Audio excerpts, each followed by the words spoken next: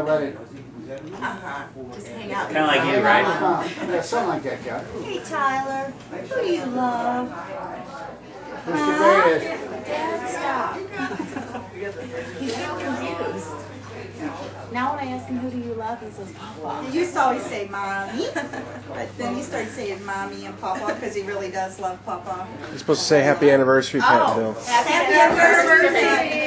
I love you, Grandma and Grandpa. Happy anniversary. 60th. Wait till I'm on you. All right, happy anniversary. Oh, now it's your turn. Now it's your turn, Liz. Oh, happy anniversary, Grandma Grandpa. I love you. Happy anniversary. I already did. Oh, okay.